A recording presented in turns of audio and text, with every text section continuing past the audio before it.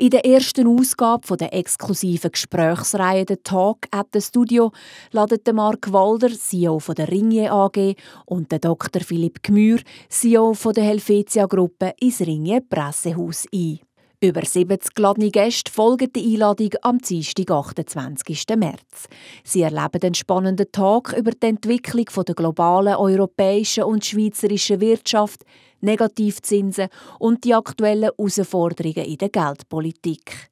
Hochkarätiger Gastreferent bei dieser Premiere ist Thomas Jordan, seit 2012 Chef der Schweizerischen Nationalbank. Das ist der erste Talk at the Studio. Mein Gast heute, Thomas Jordan, Präsident der Schweizerischen Nationalbank. Herr Jordan, zwei Jahre nach der Aufhebung des Euro-Mindestkurses und der Einführung der Negativzinsen, wie gut hat die schweizerische Wirtschaft diese Situation gemeistert? Also die Wirtschaft hat die ganze Situation deutlich besser gemeistert, als viele Beobachter das im Januar 2015 erwartet haben. Wenn ich das sage, muss man aber immer noch sehen, dass es für viele Firmen, insbesondere in der Exportwirtschaft, weiterhin große Herausforderungen gibt. Also wir sind noch nicht über dem Berg und viele Firmen kämpfen immer noch mit der schwierigen Währungssituation. Mhm. Dennoch global zieht die Konjunktur etwas an. Die USA haben auch bereits die Zinsen etwas nach oben angehoben. Wann folgt die SNB? Ja, das wird sicher noch eine Zeit gehen. Wir schauen natürlich, wie die Wirtschaftsentwicklung auch bei uns äh, geht, wie die Inflation sich entwickelt und dann wird man sehen, äh, wann der Zeitpunkt für eine Normalisierung der Geldpolitik kommen wird. Das ist sicher noch nicht für heute und morgen.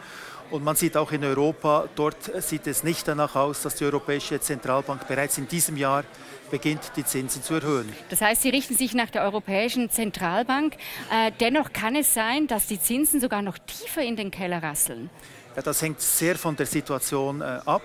Wenn sich die Situation verschlimmern würde, wenn der Druck auf den Franken größer würde, haben wir immer noch Spielraum, auch äh, die Zinsen weiter zu senken. Aber selbstverständlich machen wir immer eine genaue Güterabwägung, ob das Sinn macht oder nicht. Mhm.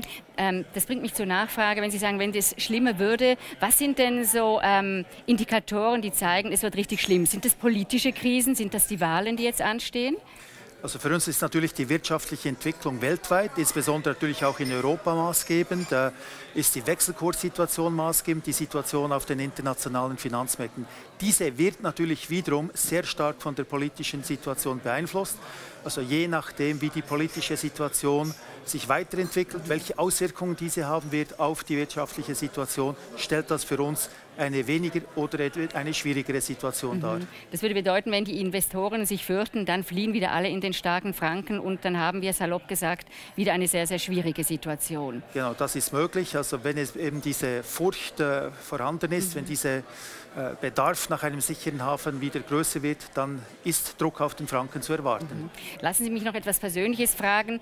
Ähm, meine Altersvorsorge jetzt zum Beispiel in, in Zeiten tiefer Zinsen, wie mache ich das am besten? Wie lege ich denn jetzt mein Geld richtig an? Also wir geben eigentlich nie eine Anlageempfehlung, aber es ist sehr wichtig, dass jede Person einfach ihre spezielle Situation anschaut. Äh, man muss auch immer real und nominal unterscheiden. Es kann sein, dass die Zinsen tief sind, aber auch die Inflation tief und durch das eigentlich die Erträge nicht so schlecht. Aber jede Person muss abschätzen, wie groß ist die Risikofähigkeit äh, und äh, wie lang ist der Horizont, wo man entsprechend anlegen kann. Herzlichen Dank, Thomas Jordan. Ja.